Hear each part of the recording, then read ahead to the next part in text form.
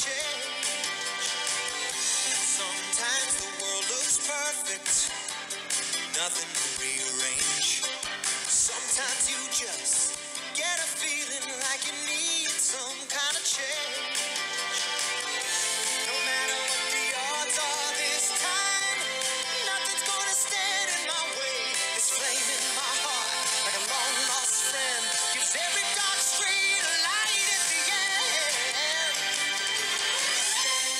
Guys, what's up? It's Bolt Logic, and today we are doing intro logic. So But it's introductory to introductory. we get two intros here.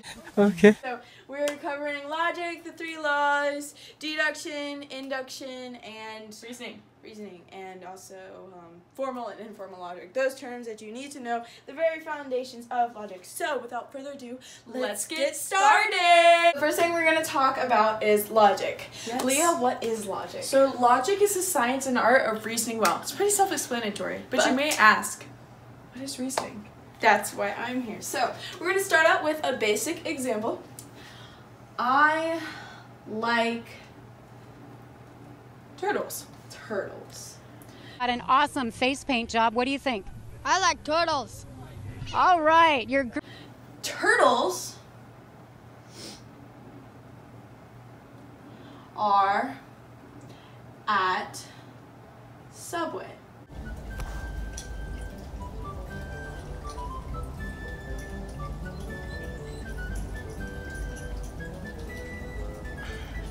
I actually said light mayo.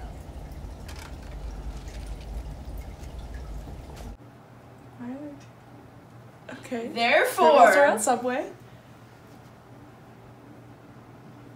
I will like Like Subway. Subway.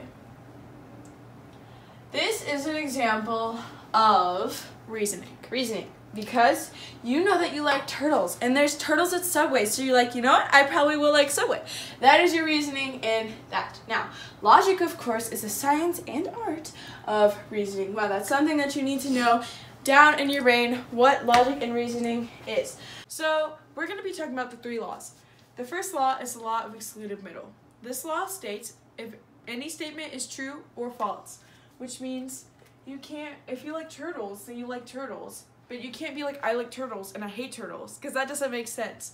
So any statement You either like turtles or you don't like turtles. That's basically what it's saying. Yes. Don't overthink this. This is just fundamental. The next one is law of identity. The law of identity states if a statement is true, then it's true. If it's true that you like turtles, then it's true that you like turtles. Doggone it. So But if know you hate turtles, then you hate turtles. It's that simple. It's pretty simple right Yep. Okay. Then we have the law of non-contradiction. A statement cannot be both true and false. It cannot be true that you like turtles and, And that that you you don't like turtles. That's important to know. Very important right there. All right, now we're going to talk about formal and informal logic. Formal logic deals with proper modes of reasoning. So, how to reason properly. As um, so we don't really have an example. That's pretty basic for that. Um, informal logic deals with operations of thinking that are indirectly related to reasoning. So we don't really cover informal logic in this book, but informal logic would be like they're just it's kind of more like uh, not fallacies, but they're just not directly tied into drawing conclusions from proper information. All right, now we are going to talk about induction and deduction. Jess, do you mind explaining that to us? Um, sure. One sec. So, deduction is reasoning with certain premises. With certainty. Yeah. With certainty, two premises, two conclusions. So basically, you would need two premises, which I think you'll get more into this in lesson one. But a premise is a statement that is either true or false, and um Goes before the conclusion and It- supports. there's two, and so you could say I like turtles. Um, turtles are cool. And um, then you would be like, Therefore, I like cool turtles. yeah, and so that would be like um, deduction. So you have certainty that you love turtles, and you have certainty that the conclusion is gonna be true. Um, now, let me give you an example of um, Induction. induction. Induction is an educated guess, probability from examples or experience to general rules. An example would be this one.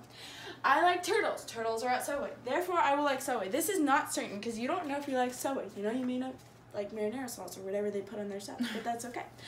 But you're assuming, you're guessing, it's an educated guess that since turtles are gonna be at Subway, That you are gonna love Subway. um, I think that is it for this lesson. So, um, This oh, was a a brief syllogism. intro. Oh, syllogisms, yes. So syllogisms are two premises and a conclusion. So basically, they can be true or false depending and valid or invalid depending on what the premises are and what the conclusion is. You don't really need to know that right now. Just focus on um, the three laws: logic, definition, And reasoning. definition, and induction and deduction, and also um, informal and formal. That's not really as important, but still, you're good. All right, so um, make sure you. There's no exercise for this one, but highlight and make flashcards, and um, really helps. Make sure that you make flashcards each lesson because you don't want to get behind because that happened to me and it was very stressful. So make sure that you make them for each lesson. Yeah. Yeah. And um, as a rule of thumb, um, only make definitions for stuff in the margin, because it says little definite. Here, I'll show you. It says definitions and then there's like key points. So for the notes, you want to put like key points and definitions. There's like little definitions here, definitions, key points if you need to, and then um, I'll give you some words in here that may be unfamiliar. They're not terms, but they're new words. Um, ethical, having to do with ethics, which is the study of standards of conduct and moral judgment. As important to know because logic ties a lot in with ethics. It may not be per se named ethics, Mhm. but it ties in with it. Triune, consisting of three, usually referring to the Trinity. Yep. Assert, to declare, affirm. Discourse, talk, conversation. Hash, a muddle, mess. Mutual and common done together. And premise, we already went over that. A previous statement serving as a basis for an argument. You learn more about the technical form of an argument later, but as again, just focus on the fundamentals of the list. Yes. So, So this is not a real lesson. This is just the intro, but It's um, important. it's very important to know this because without knowing this, you won't really understand logic. So all right, guys, please like and subscribe and comment. Um, always check some more random videos. Bolt random, really cool. Anyways, um, enjoy this bolt logic video. So, uh, yeah, what's up, bros? like and subscribe. Mwah.